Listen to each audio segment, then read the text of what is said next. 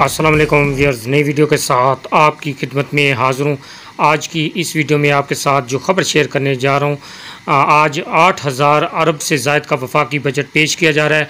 तनख्वाहों और पेंशन में इजाफा के हवाले से एक न्यूज़पेपर पर ख़बर आई है, वो मैं आपके साथ शेयर करने जा रहा हूँ। लेकिन इससे पहले मैं आपको ये भी बता दूँ कि अक्सर जो है, ऐसी खबरें पहले भी इसी न्यूज़पेपर पर आती रही हैं, लेकिन वो ठीक नहीं थी। लेकिन जो अपडेट आई है, वो मैं आपके साथ ज़रूर शेयर कर देता हूँ। आप खुद भी जो है, इसकी स्टडी कर लीजिएगा बाद में। तो बजट में सरकारी मुलाजमीन को तनख्वाहों और मराद की मद में एक सौ साठ अरब रुपये मालियत का पैकेज दिए जाने का इम्कान है।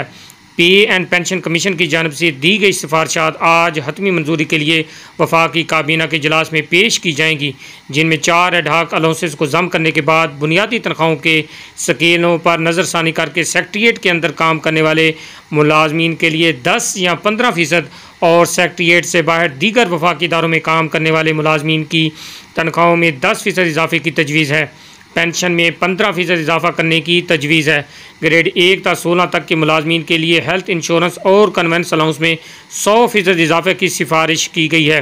ग्रेड सत्रह, अठारह और उन्नीस तक के मुलाजमीन के लिए गाड़ी की मोनेटाइजेशन भी समरी का हिस्सा है, जिसके तहत उन्हें गाड़ी, ड्राइवर और गाड़ी की मरम्मत के अखराज यकमुश्त अदा करके इनके लिए सरकारी गाड़ी के इस्तेमाल पर पाबंदी आयद कर दी जाएगी। सरकारी मुलाजमीन के लिए मकानात की हायरिंग की मालियत में पचास फ़ीसद इजाफे की तजवीज़ के मुकाबले में पच्चीस से तीस फ़ीसद इजाफे की सिफारिश की गई है। ये थी अब तक की ताज़ा तरीन अपडेट। जैसे ही मज़ीद कोई अपडेट आएगी, वो भी आपके साथ शेयर की जाएगी। अभी चंद लम्हों बाद ही सरकारी मुलाजमीन की किस्मत का फ़ैसला होने वाला है। मिलते हैं नई वीडियो में। तब तक दीजिए इजाज़त। अल्लाह हाफिज़।